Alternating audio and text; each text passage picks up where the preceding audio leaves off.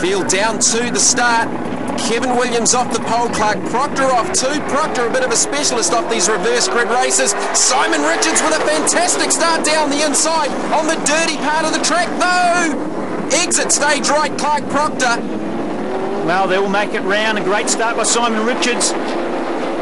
Another car off there with Proctor. Oh, oh problems here. The second of the Hydrolink cars. Pete Roberts. Big accident. Dean McMillan taking to the air. There's all sorts of cars involved there. Henderson lifting with the hood up.